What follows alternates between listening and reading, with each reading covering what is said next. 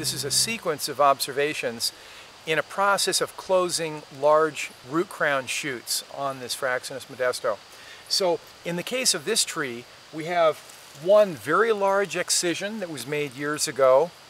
Three individual root crown shoots were allowed to rise for several years.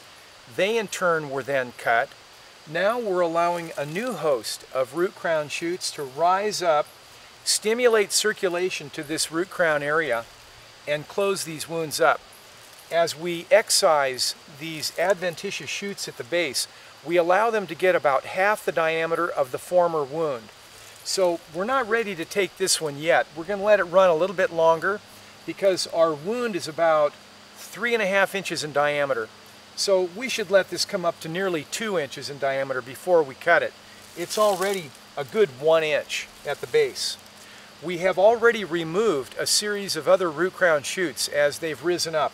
And right here is where I'd like to point out where we've excised about a two inch diameter root crown shoot and allowed two adventitious shoots to rise up, one on either side of the wound.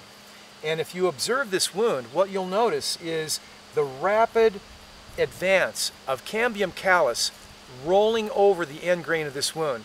We've only treated this wound one time with our orange oil beeswax compound. We did treat the end grain and I can still feel that waxy coating on the surface.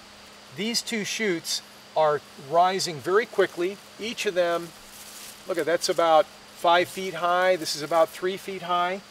And they're speeding up, they're powering up this zone, this portion of the tree. And we could remove these at any time. We might let them go for a couple more months and then clip them off. And then this wound will completely close.